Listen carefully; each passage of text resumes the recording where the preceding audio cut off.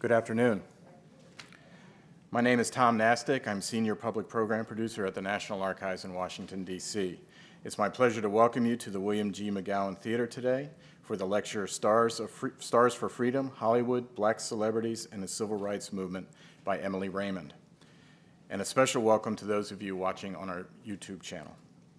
Before we get to today's program, I'd like to tell you about a few upcoming programs here at the National Archives. On Thursday, June 25th at 7 p.m., American University professor Leonard Steinhorn will moderate a discussion program, DC Statehood and Representative Democracy. Panelists include Eleanor Holmes Norton, delegate to the U.S. Congress representing the District of Columbia, Anthony Williams, former mayor of the District of Columbia, and former members of Congress Jim Moran and Jim Walsh. This program is presented in partnership with the U.S. Association of the Former Members of Congress.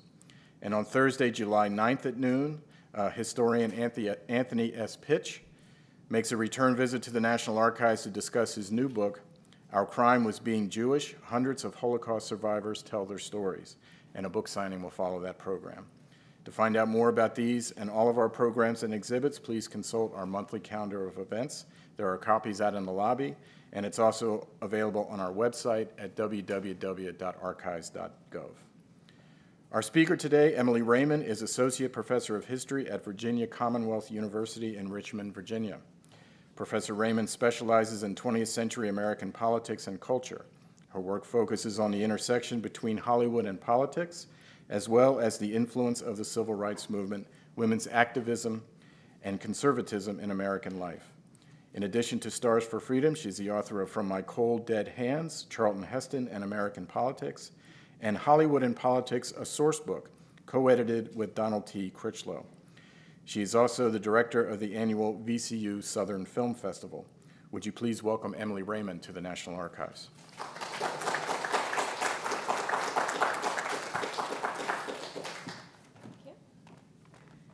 Hello. Thank you so much for coming out. It's wonderful to be at the National Archives. When I first started this project, the National Archives is where I started my research out at College Park, especially with the media and sound division. Um, and the cover of the book actually comes from the National Archives collection. So I'm grateful to be able to return now that the book is out. And one item from the National Archive collection is the Hollywood Roundtable. And we're going to show a short clip of this roundtable so just to set it up for you, um, this, this program appeared on CBS television the night of the March on Washington, so right after it had, it had happened. And it was moderated by the journalist David Schoenbrun, and it featured six panelists who had been involved in the march. The writer, James Baldwin, the singer and actor, Harry Belafonte, the actor, Marlon Brando, sometimes singer Marlon Brando, I guess, if you've seen Guys and Dolls. Uh, the actor Charlton Heston, the actor Sidney Poitier, and the writer-director Joseph L. Mankiewicz. Best, he was best known for his 1950 film All About Eve. And they had this unrehearsed discussion in which the group talked about their previous involvement with the, the civil rights movement, the significance of the March on Washington, and the future of civil rights in America. And this particular clip that we're watching features Poitier and Belafonte specifically, in which they discuss their need to be involved, what was really driving them to be involved.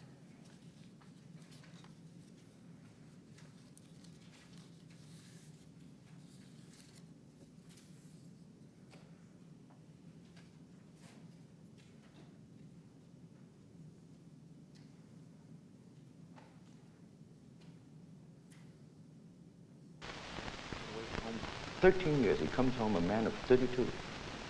And they started telling me I couldn't talk to him. In a television studio in Washington and, uh, on August 28, 1963, a small group from Hollywood, California joined to give their own personally held views of the civil rights gathering which took place on that day. Never once did you give him Here, as citizens committed to the cause of civil rights, are James Baldwin. And yet I had to do something very difficult, Sidney. Harry Belafonte. He's intelligent and articulate, but he's Marlon Brando, turned up. Yeah. And the problem I Charlton Heston, human sympathy, mm. but I had to be a relentless. Joseph Mankiewicz, get his story, and to be sympathetically placate. Yeah. And Sidney Poitier.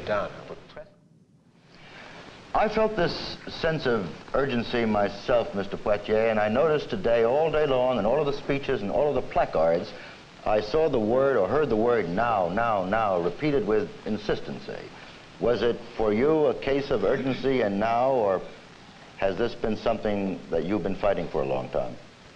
Well, the nature of my life over the last 36 years has been such that uh, an urgency, uh, the urgency that was evident today has been bubbling in me personally for most of these years, at least most of the years I came into adulthood. Uh, I became interested in the civil rights struggle out of a necessity to survive.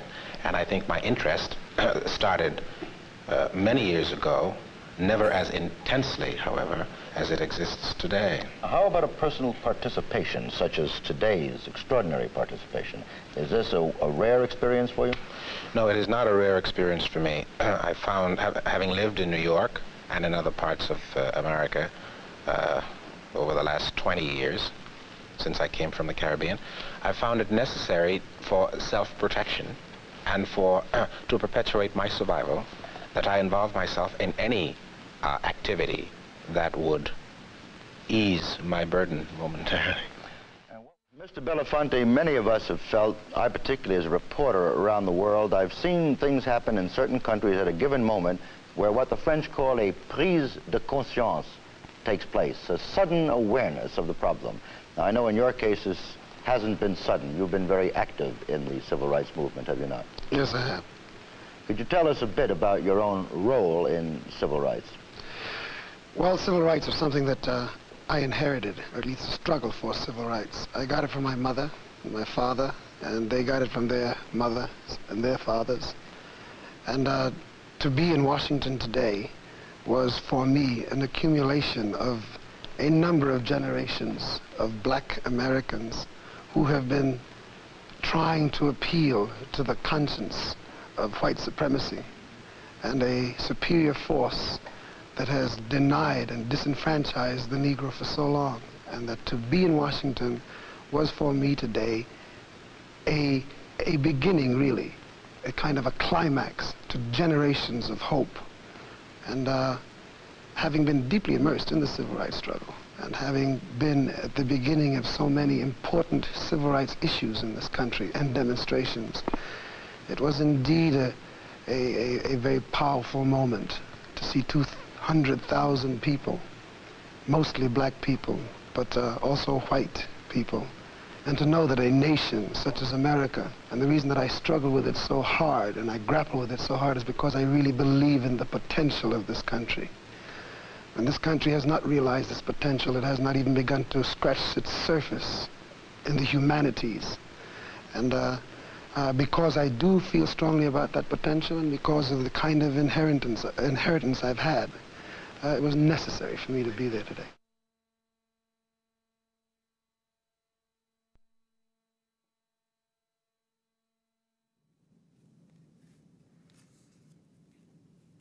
So this discussion went on for about 30 minutes altogether. And I wanted to show it because I think that it helps feature some of the most important Hollywood celebrities involved in the civil rights movement. And it also helps illustrate some of the qualities that they brought to the civil rights movement um, in, the, in the sense that they were able to attract media attention. They also had a familiarity with mainstream Americans, and mainstream Americans were necessary to the success of the movement. And they also had the ability to articulate the civil rights message in a really constructive way. And that clip really helps us see that with Poitier and Belafonte talking about uh, the need for self protection in so many ways. Uh, this clip also provides a nice segue for my overall argument in the, in the book, which is that a small group of Hollywood stars and especially black celebrities significantly assisted the civil rights movement by acting as spokespersons, as fundraisers, as strategists, and as cheerleaders for movement organizations and activists. And they did this by using their public images, their show business and political connections, and their personal wealth for the movement's gain. So, in terms of who these people were, those involved, um, I've kind of divided it up into two. The leading six, who were the six activists most consistently involved from the earliest point and who made the biggest impact, and then the Stars for Freedom, sort of overall. So, the leading six are Belafonte, who we just saw, also Ossie Davis and Ruby Dee, and they always sort of come together because they were such a partnership as a couple. Uh, the entertainer, Sammy Davis Jr., Poitier, and the comedian, Dick Gregory. And like I said, those are the ones who mo were most consistently involved in the movement. Other important figures included Dorothy Dandridge, Lena Horne, Burt Lancaster, Marlon Brando, Paul Newman, Theodore Bikel, who was a folk singer and actor, Frank Sinatra, Charlton Heston, Diahann Carroll, and several others. And some of them are pictured here. This is a picture from the March on Washington with Heston and Belafonte leading the way with Belafonte's wife right next to him, and then James Garner and Diahann Carroll and Paul Newman. Marlon Brando's back there. Um, so these are sort of collectively these stars for freedom. Now, there's two really fascinating complications to the story in terms of the historical context. Two things were sort of complicating the ability for a Stars for Freedom to even exist. And one of those is the House Un American Activities Committee, HUAC, as it was better known, its investigations of Hollywood in the 1940s. They were looking for communists, and throughout those investigations, these investigations led to the blacklist, which was a studio, sort of studio, collective studio blacklist where the studios agreed not to hire anyone with communist ties. So the HUAC investigations and the blacklist had driven many film performers out of controversial social activism. And the civil rights movement certainly was a controversial movement in part because of the goals of the movement, racial integration and equality, uh, but also because it was the middle of the Cold War, or the beginning of the Cold War, and the Communist Party was a champion of racial equality. So both of those things were making it controversial. And a number of famous African American performers were blacklisted very early on. One of the most important was Paul Robeson, who was a consummate um, artist, and he was also a close friend and mentor to Poitier, Belafonte, Davis, and Dee. So him being blacklisted was really devastating for them to see their friend and their mentor kind of driven out of show business and not being able to make a, a livelihood as an artist. Um, other blacklisted performers included Canada Lee, who was a successful char character actor in the 1940s, and Hazel Scott. She was the first black woman to have her own television show, way before Oprah in the 1950s. But she was blacklisted because she had spoken out against HUAC. So while Poitier, Belafonte, Davis, and Dee were openly critical of the blacklist, they also tried to follow Robeson's advice. Robeson had told them not to appear too radical, to try to distance themselves from some of the Communist Party's activities as a way to sort of self protect their careers, but also as a way to still be effective civil rights activists, because Robeson was no longer an effective activist after he was blacklisted either. Um, the other complication to this story was that prior to World War II, African American actors had typically portrayed stereotypical and demeaning characters in Hollywood films. The studios were white owned studios and they perpetuated commonly held assumptions about African Americans in the characters that were in the films. And beyond that, they did not employ any black directors, producers, screenwriters, or even any technical employees to tell them otherwise. The only jobs for African Americans in the film industry were in acting, and those roles available were usually in servile, positions, and often for the purpose of comic relief through exaggerated dialect or exaggerated mannerisms or just outright silliness. Um, two of the most successful black actors in Hollywood prior to the 1950s were Hattie McDaniel and Lincoln Perry, pictured at the bottom. Lincoln Perry was better known by his stage name, Stepin Fetchit. And Hattie McDaniel almost always played a mammy in Hollywood films, and her most famous mammy role was in Gone with the Wind, which is what's pictured here. And she won an Academy Award for this portrayal. And she is very no nonsense and tough and smart, but at the same time, her entire identity is about serving whites. Um, Lincoln Perry, he was a very gifted comic, but a lot of his comedic roles, he appeared very foolish or very silly um, and used backward dialect in some of those roles. So neither Hattie McDaniel or Lincoln Perry, despite their success, were really considered to be proper spokespersons by groups like the NAACP um, in terms of sort of aligning celebrities with civil rights organizations to promote the movement itself. They felt like they weren't proper spokespersons because they weren't emitting the kind of image they wanted in, in their films.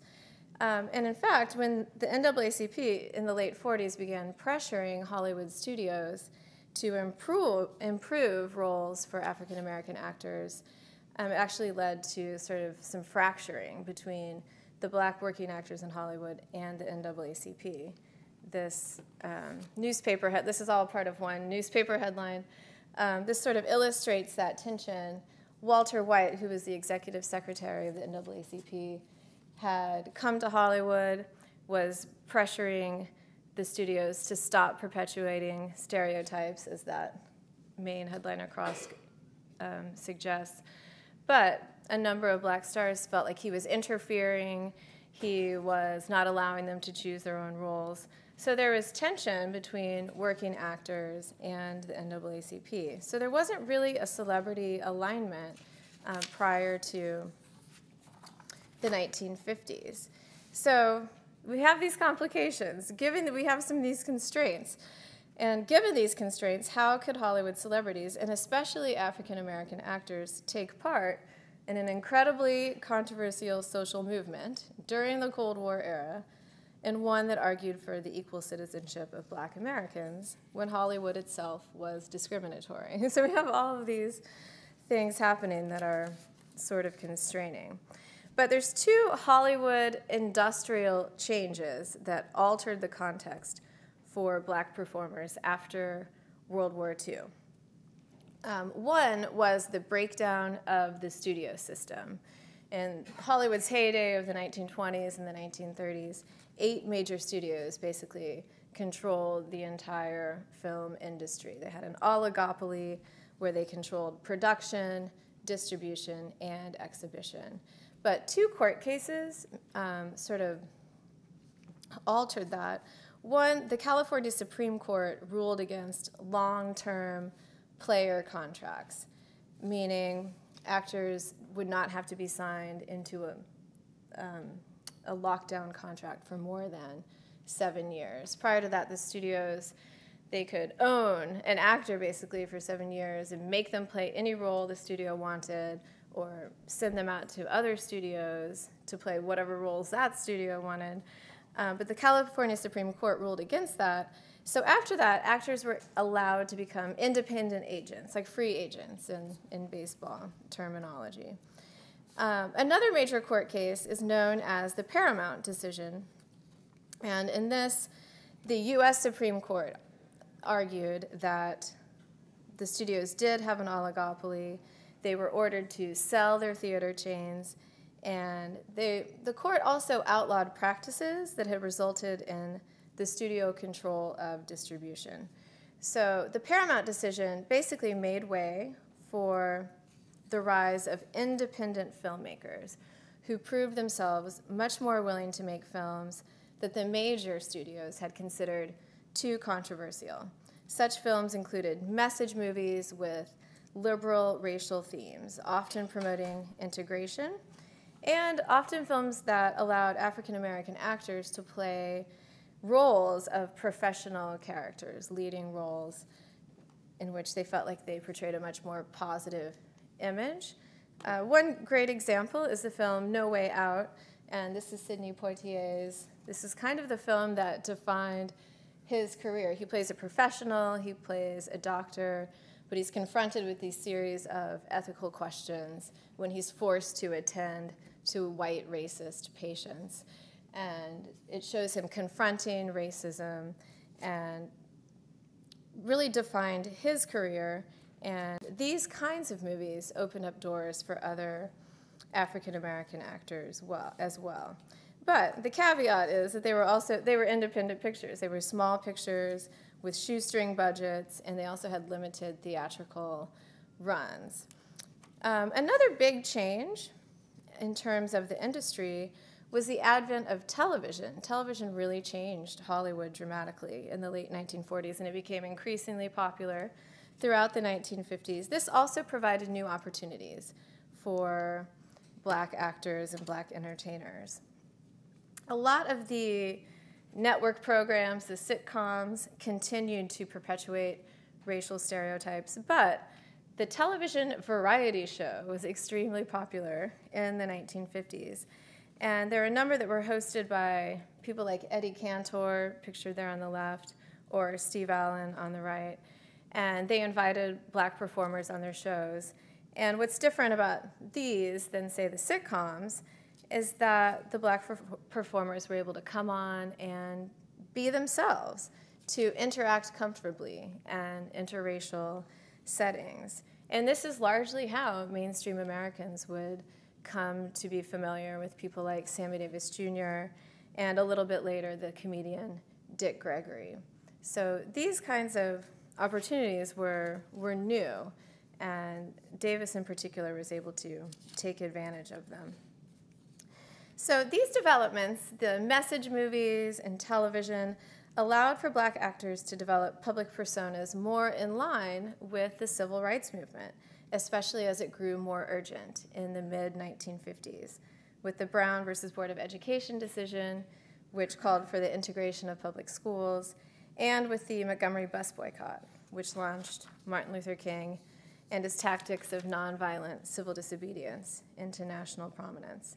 However, only Poitier was able to make a living as a film and television actor. The rest of the leading six all supplemented their incomes through different artistic means, including recording contracts, nightclub contracts, and Broadway productions. And this is because of the ongoing limitations in Hollywood. They could not, they simply could not afford to support themselves because there weren't enough acting roles to go around. There were better roles, but there weren't more roles. There were probably actually less roles. So, despite the risks of provoking controversy, it was in the leading six's self interest, in a way, to promote the civil rights movement in the hopes of applying its gains to Hollywood, applying the gains to the industry. So that brings us back to the leading six and some of the trailblazing activities of this group, some of the things that they did that really made a huge impact on the civil rights movement and would bring more and more artists into the, into the cause. Um, starting as early as 1956, they attended, headlined, and sometimes even helped organize mass rallies and demonstrations for movement organizations and causes, with increasingly large crowds. Such events included a Madison Square Garden rally in 1956 in support of the Montgomery bus boycott, the 1957 prayer pilgrimage in Washington, D.C., a youth march for integrated schools in 1958. That was also in Washington, D.C., and Belafonte and Jackie Robinson were the co organizers of that particular march. the other picture is of a garment sitter civil rights rally in New York that Belafonte and Poitier headlined in 1960. And you can see 15,000 attendants. So by participating in these rallies, the stars were drawing larger and larger crowds and also attracting newspaper headlines, and often positive newspaper headlines. The rallies themselves served as important sources of news for Northern supporters and about Southern activities, and boosted the Northern network of support for Southern activists, helping, among other things, improve their morale. And we'll get to that again in a little bit. Um, another trailblazing activity that Leading Six did was to raise money, and they largely did this through benefit shows. They performed for free and often produced numerous benefit shows and concerts for movement organizations. Sammy Davis Jr. began doing such activities in 1958 at the Apollo Theater benefit with, with Ann, Apollo Theater benefit for the NAACP. And he would go on to become one of the movement's most successful fundraisers. He raised about $750,000 throughout um, the 1950s and 1960s. The picture up on top is him at a Detroit Freedom Fund rally, and that benefit alone raised $60,000. And he was able to make even more money after he became identified with the Rat Pack. Uh, there's Davis pictured with Dean Martin and Frank Sinatra, and they became such a sort of powerful syndicate of talent in the 1960s that when they would appear at benefits, or Davis appeared alone, he was able to make even more money for or organization. And Belafonte performed in countless benefits and produced countless benefits. Um, this is from a Southern Christian Leadership Conference pamphlet about a benefit concert that he was putting on, and he recruited Miriam Makeba as well. Um, so that was a really important thing that they were doing these benefit shows, the fundraising. The concerts had a lot of the same qualities and characteristics as a mass rally in terms of drawing crowds and drawing headlines. But they also much more explicitly raised money and they added an air of glamour to the movement that had really not been there until that point. the leading six also were trailblazers by connecting movement leaders and activists to politically and culturally powerful individuals. Both Sammy Davis Jr. and Harry Belafonte campaigned for John F. Kennedy. And Belafonte was especially one to encourage Kennedy to become more familiar with movement leaders and movement goals. He encouraged Kennedy to meet with Martin Luther King Jr. And after Kennedy's victory, Belafonte worked with Kennedy's administration to facilitate voter registration, voter registration projects in the Deep South. He especially worked with the Student Nonviolent Coordinating Committee, known, better known as SNCC, to establish these voter registration groups. In the meantime, the Black Stars reached out to white celebrity friends to encourage their participation in the movement. One important example is Sammy Davis Jr. by convincing Frank Sinatra to perform in movement benefits for free, and several other of their friends. So the movement organizations were then able to develop contact lists, artist contact lists, who could be easy go tos for fundraisers and other events. Um, in terms of direct action, the most of the Stars for Freedom and most of the leading six did not engage in direct action in terms of Southern protests. Most of them were not comfortable with civil disobedience for the same reason most people aren't comfortable with civil disobedience. They, they're fear, they're fearful. They're fearful of going to jail and what could happen to them there. Um, but there were a few exceptions. Um, Charlton Heston joined in a demonstration in Oklahoma City in 1961. So that's the Upper South, which is definitely different. Um, he was inspired by his friend Jolly West there on the right, and they marched to integrate downtown Oklahoma City, especially the, the stores there. Um, but he was not arrested on that occasion, and I don't think he was ever arrested. Um, the primary exception, somebody who was willing to engage in civil disobedience and be arrested was the comedian Dick Gregory, pictured there on the left. He went to jail at least eight times for movement activities all over the country in places like Greenwood, Mississippi, Chicago, Illinois, Birmingham, Alabama, and Pine Bluff, Arkansas. And this oftentimes was really important to whatever project he was attempting to help by getting publicity for that project and also helping the students or the activists know that they were not isolated, that they weren't alone, that there was somebody, a name who cared about them and might be able to get others to care about them as well. So those were the main activities of the Leading Six prior to 1963 in terms of helping develop the movement. And the movement, I think, finally caught on amongst Hollywood celebrities in the summer of 1963. And this is especially epitomized by the March on Washington. 75 Hollywood stars formed an arts group for the March on Washington in August 1963. And by doing so, they really did help build positive publicity for the march. There was a lot of publicity for the march, but a lot of it wasn't very positive. a lot of it was um, trepidatious or fearful or downright hostile. So, them being involved helped build more positive publicity.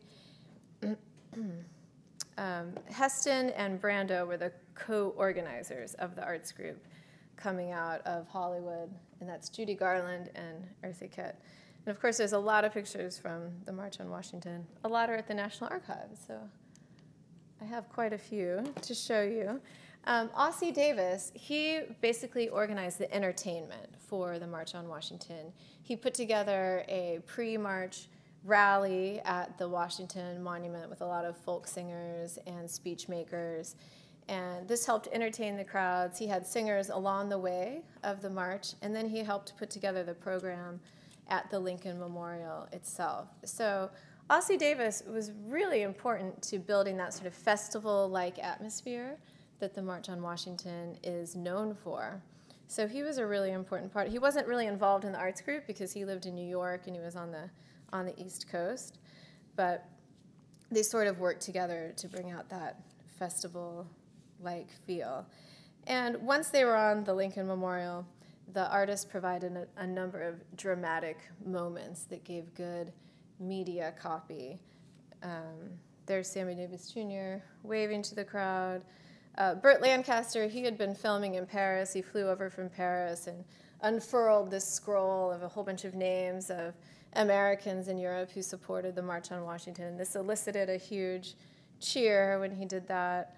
Um, this is a picture of Josephine Baker and Lena Horne, and Josephine Baker had basically been barred from the United States for her controversial statements. Um, she, the State Department knew that she was not a communist, but they still felt that she was controversial enough that they should just bar her. So she had not been in the United States for much of the 50s. So the March on Washington was her sort of comeback to the United States. So that seemed to provide um, a boost to the crowd. Marlon Brando was there with a, a cattle prod that he brought out of Alabama that he was swinging around. So they brought a number of dramatic moments. Um, and then, of course, Martin Luther King provided the most dramatic with his I Have a Dream speech. And there's um, Paul Newman and his wife, Joanne Woodward, with A. Philip Randolph, who was sort of the brainchild of the March on Washington. So the march, in a lot of ways, was a turning point for celebrities in the civil rights movement because it paved the way for more celebrity involvement in the movement. So you just have greater numbers of celebrities willing to come out. But not only that, more celebrities willing to do things that were much more controversial than one would have thought that they would do even five years prior, largely because of the Cold War environment. So they were just engaging in many more controversial sort of activities. And you see this sort of immediate change after the March on Washington. Um, one is open organizational support.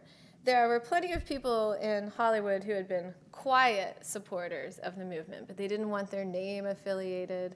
necessarily. They didn't want it to be publicized that they'd given money, um, or they just feared the blacklist and just stayed to themselves.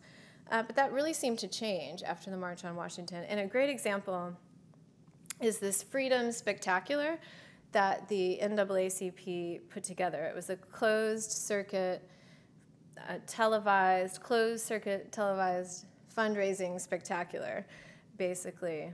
And they've broadcast it all over the United States to be shown in auditoriums or theaters as a way to, for local chapters to raise money. And a number of people participated in this Freedom Spectacular who had kind of stayed away before. Um, Ed Sullivan is a good example. He was a well known liberal, but he just had shied away from the, the civil rights movement.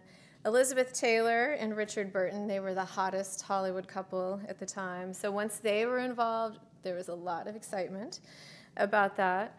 Um, Edward G. Robinson also was involved in the spectacular, and he had been on the blacklist and he had been too scared to be involved in anything, but he came back for this. So that's why it seems like the movement, or the, the March on Washington, really provided a turning point. And this would build throughout the 1960s. A fair number of stars also would come out in support of the Black Panther Party in the late 1960s. This is a picture of Ruby Dee. She's holding a press conference in which she is defending the so-called Panther 22. They were 22 Black, Power, Black Panther Party members who'd been arrested on various charges. And she said that they were erroneous charges, that they were being sort of singled out by the police unfairly, and she was defending them. So seeing this kind of open organizational support was a really dramatic change from the 1950s.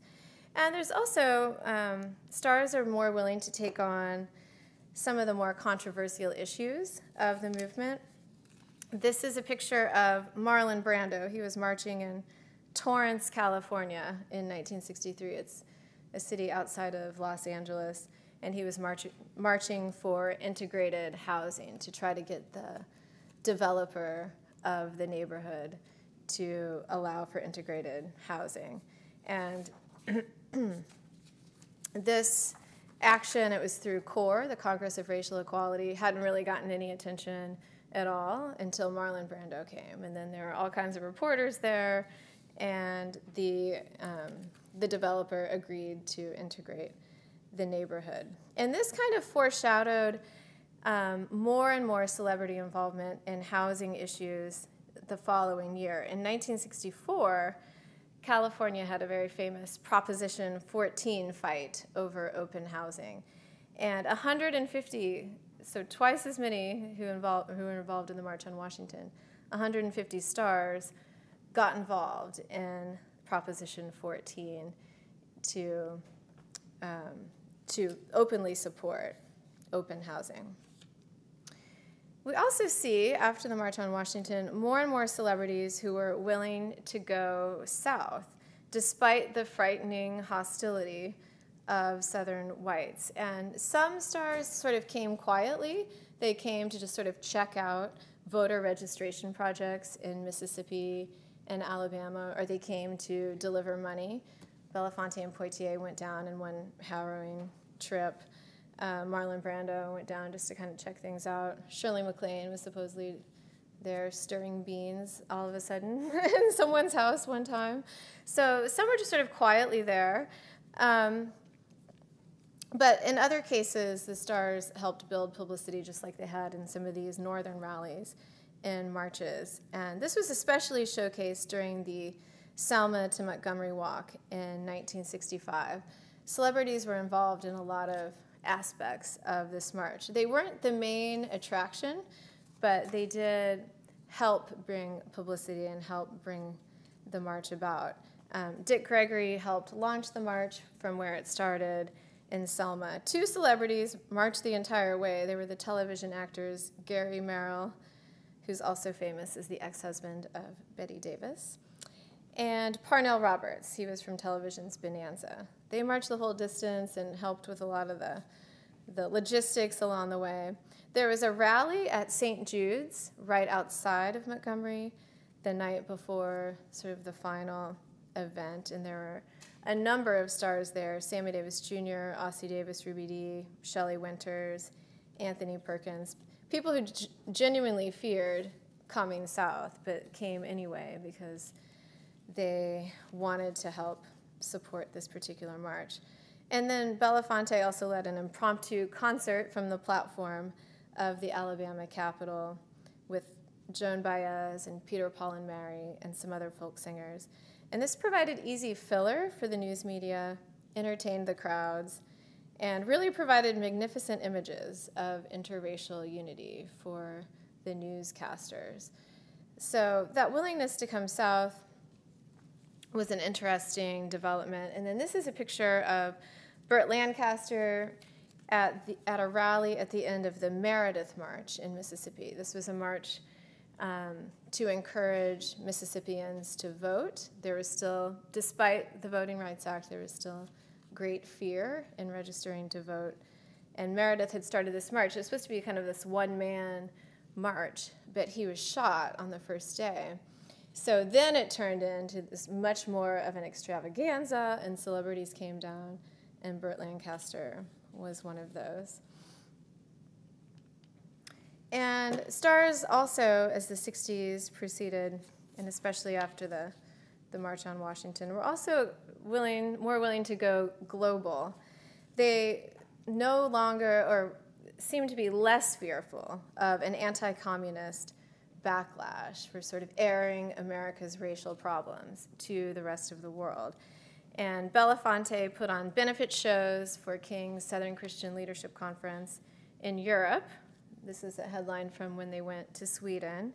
And more and more stars, including Gregory and Davis and Dee, began criticizing American involvement in Vietnam. A couple of years actually before even King criticized that movement. So there's obviously sort of a change in terms of the fear about their public images and what they were willing to do. So as I was going about all of this research, uh, one of the things that I had to keep considering was how to measure the impact of these stars. In some, in some cases, it's more quantifiable than others. Uh, money was pretty quantifiable. you know, you could find out how much was raised at a particular event, what percentage of an organization's budget that was, or where exactly the money went. So that was not as much of a challenge. Publicity was a little bit harder to quantify because you're trying to count the number of headlines, to figure out if it's negative or um, positive publicity, what, what qualities celebrities really brought to that publicity. Um, and especially with Dick Gregory, the publicity he was able to generate just seemed so important. Um, this is a headline from the New York Times, and he had gone to visit a voter registration project in Pine Bluff, and the activists there felt like they were pretty isolated. No one was really paying attention to them. Even the civil rights movement really wasn't paying attention to them in Arkansas. But he came and visited, got himself arrested, went to jail, and all of a sudden the New York Times is reporting. So the activists said that after he came, that really boosted their morale, made it much easier to recruit um, willing students and willing activists. So it really made a huge difference. It was like a turning point for them in a lot of ways. Um, so that brings us to emotional, which is the hardest to quantify, how to measure the emotional impact. But it seemed like such an important thing, um, especially from the activists I interviewed. They said that they felt that they were so isolated, especially in the Deep South. They felt like they were in so much danger. And just having even one celebrity be interested in them, they felt like that sort of provided a buffer. So it did give them this crucial uh, psychological comfort. Um, one SNCC activist, he said that he felt like the stars, since they all played roles for a living, that they really appreciated their real lives, the activists led, and the work they did, and that they realized that they were stars to them, you know, that the activists were stars to the stars, and that was really gratifying and important for them. Um, the fact that this is a picture of Belafonte and Poitier bailing out some jailed protesters, including John Lewis, pictured in the front, and James Forman, both from the Student Nonviolent Coordinating Committee. The fact that they would sort of personally come and bail them out of jail was also very gratifying. And also, I, you know, I found in the letters from the period a lot of emotional letters written from civil rights organizations to those celebrities who had supported them. And one really touching example was between James Forman of SNCC, who wrote to Dick Gregory. Dick Gregory had personally delivered 14,000 pounds of food to Greenwood, Mississippi. Um, this was in reaction to a number of Southern blacks, who, locals, who had sort of seemed interested in what the SNCC activists were doing, who had expressed an interest in registering to vote, found that they would be fired or they'd be pushed off their land as sharecroppers and were suffering economically. And then at the same time, in Greenwood, Mississippi, and some of the surrounding counties, they cut the food relief rolls. So there was literally a famine about to begin in Greenwood, Mississippi. And Gregory helped raise the money. He helped bring the food down because um, he, he, basically had to hand deliver it to them, before, otherwise it would be interfered with by local authorities. And James Forman wrote him a letter after all this, and he said, The thousands of hungry Negroes in Leflore, Sunflower, and Coahoma counties know perhaps for the first time in their lives that they are not friendless and they do not have to be afraid to try to get their rights. The number of field workers has increased from 30 to 42, again, thanks to you. I hate to sound maudlin, but your efforts have really increased our determination to stay in Mississippi and get the job done. So, seeing those kinds of statements helps provide that sort of psychological measure that I think is really important to these celebrities being involved. Um, and you can also measure impact by their impact on Hollywood itself, sort of coming back to Hollywood. Title VII of the 1964 Civil Rights Act allowed movement gains to be applied to Hollywood in employment, and especially in winning more jobs behind the scenes. A number, the leading six and a number of the Stars for Freedom also became uh, filmmakers. They became screenwriters, producers, and directors, and that held so much more of a position of authority where they could insist on improved roles and more employment opportunities for African Americans in the film industry. This is a film poster from the, the movie Buck and the Preacher. It was a Western that Belafonte and Poitier co produced and a couple days into the filming, they decided to fire the director, and Poitier, this was the first film that Poitier directed. So they were able to control the message of the film, which was really about black aspirations after the Civil War, and also able to control the casting and the hiring and all those sorts of things.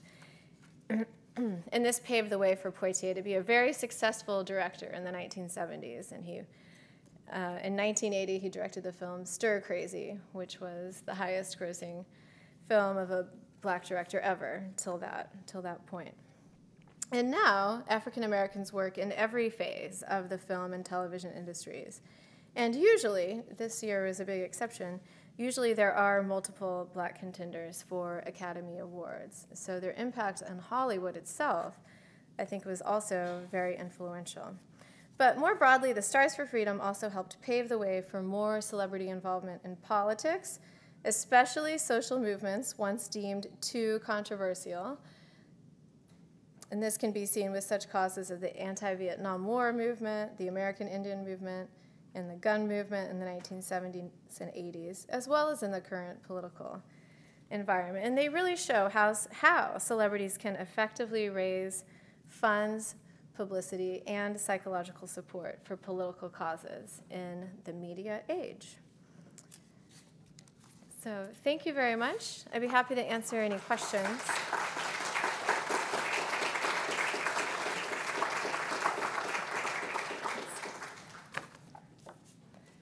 If you would like to ask a question, I've been told to send you to either of these microphones.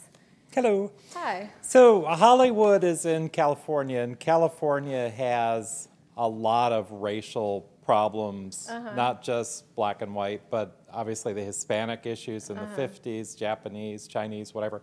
Did the Hollywood involvement in the civil rights struggle extend to other races, or did it was it strictly white African Americans? Did they also promote Hispanics? Did they promote Chinese? Did they promote Japanese? Um, mostly during this period, it extended to Native Americans, especially through the work of Marlon Brando and Dick Gregory. They didn't dramatically take on these other um, ethnic civil rights groups, sort of maybe smallly, like their own personal efforts in terms of casting approval and that sort of thing. But it, it did seem to be focused mostly on African Americans and Native Americans during this period. Yes. Uh, yes, greetings, Miss Raymond. I'm um, Demetrius Dillard with the Washington Afro American. Um, I was just curious to know um, what message did you intend to send to the, the younger audience um, through your book? Okay, the message to a younger audience. Yeah, what, what what was your main or the message or theme that you wanted to communicate to the younger, or just overall to your audience uh, in the book that you wrote? Okay.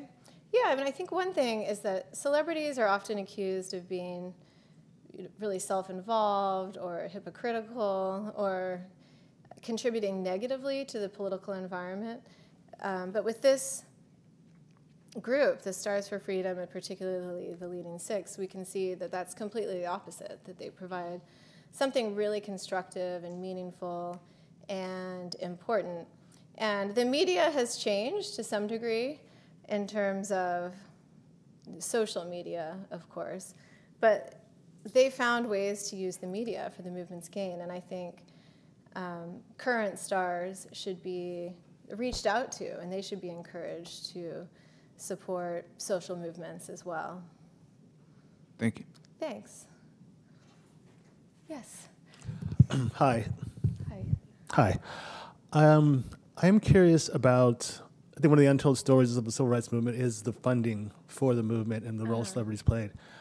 In your research, how difficult was it to find these kind of financial records and um, and, and these stories? How, can you talk a little bit about, about that?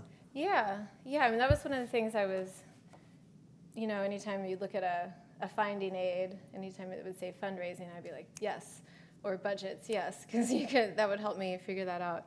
So some of the records aren't that clear, and some of them are contradictory. But all of the civil rights organizations kept financial records, and all of the SNCC papers are on microfilm, or a lot of the SNCC papers are on microfilm in terms of organizational records. And then a number of the activists have been donating their papers pretty regularly. So if they were involved in fundraising, I could get information from them. James Forman, in particular, his papers are at the Library of Congress, and he was really organized and saved everything. So I had a lot of information from, and he was the one who was connecting with celebrities the most out of SNCC. So his his papers were great, and they just appeared at the Library of Congress like a year and a half ago. So it was so exciting for me that they were open and available. But yeah, most of them kept records. You know, it would be difficult to just you know find a folder on celebrity fundraising necessary. You have to like comb through it all, but the NAACP, all of their papers are at the Library of Congress. So that the only kind of difficult um, organization I had was the SCLC because those papers are scattered around. Um, there's the King Center in Stanford. The King's papers are in Boston, and then the SCLC in Atlanta. That King Center was having some organizational problems. So I had the hardest time with them, but at the same time, Taylor Branch has written these three really detailed books about King, so I could get a lot of information from that too. Yes. Uh, one brief uh, comment on the previous question, which was that the ho- members of Hollywood did try to deal with some of the problems that Japanese Americans had in the 50s. Okay. that was not really civil rights, but the movie Bad Day at Black Rock with Spencer Tracy is a good example of uh, some dealing with some of those issues um, with an amazing cast, Lee Marvin and a whole bunch of people. Uh, James Coburn. But the other thought, the question I had was, um, Thank you. the question I had was about uh, the FBI, and did they investigate any of these six actors, and was there any knowledge about whether J. Edgar Hoover had spies out for them? I know he was wiretapping King, but I'm wondering Yes. if any of the Hollywood actors were wiretapped. Yes, there is an FBI file on Sammy Davis Jr. So I got some pretty good information out of that, actually. And um, Harry Belafonte was, I didn't have a specific file on him, but he showed up a lot in the FBI files because of King being wiretapped and several of King's aides being wiretapped, who Belafonte was close to. Um, but the rest I did not have FBI files for, and I don't know if that means they don't exist or if I just didn't find them. But um, those were the Belafonte and well, and Malcolm X, there's an FBI file on Malcolm X, and Dick Gregory and Ossie Davis uh, worked closely with him during certain periods, and so I found out a little information about them through his his file. Oh, did she? Ah. Huh. yeah, I'm surprised. Yes. Yes, uh, you mentioned uh, SNCC reaching out to, uh, Forman reaching out to um, Hollywood in terms of using them uh, for media publicity. And you also talked about the House of American um, Activity Committee. M- my question is um, maybe which came first, the chicken or the egg? Do you think that the uh, perhaps the Hollywood came to the civil rights movement, or did the civil rights movement go to Hollywood um, for that activism? Which do you think came first? Well, I think it's more Hollywood came to the civil rights movement, but mostly because Davis, Ossie Davis, Ruby Dee, Poitier, and Belafonte were involved with the movement before they went to Hollywood. So they were involved in the late 40s and early 50s, but Poitier's big break was like 1950. And even though it was a big break, I mean, looking back, we can call it a big break. He still really struggled throughout the, the first half of the 1950s in terms of film roles. Um, and Belafonte's first big film wasn't until 1956. So, yeah, I think it's more Hollywood came to them. But they weren't established like A-list Hollywood stars at that time either. That that's not till more like the early 1960s. Does that make sense? Okay. Any other? Oh, I'm sorry. Yeah. Hi. Did you get into the idea that uh, foreign, another pressure on Hollywood was the fact that foreign films were much more of a new thing in America in the early 60s, and in particular, the franker depiction of relationships between the races? I'm thinking of British pictures like uh, Georgy Girl and A Taste of Honey. Do you think that was in the Hollywood equation at all? It's not that far between uh, A Taste of Honey and uh, Lilies of the Field, for example. Right. Um, I don't know. I didn't really come across that necessarily, but at the same time, I know that um, the film studios in the in the early 50s they started doing market research, and they realized that there was a. I'm- It's surprising they didn't really do market research until then, but they did realize that there was an audience for more mature films that in these art house, these foreign films sort of reflected. So part of that independent picture trend was probably intersected with that. But that's the best I can do there. yes. So on the uh, cover of your book, you have, and we saw in the clip, Charlton Heston, and you apparently did, also did a book on him. Yes. So what happened? Uh, It seems like he had some sort of reverse epiphany, or I know. I get that question about Charlton Heston and Bill Cosby both.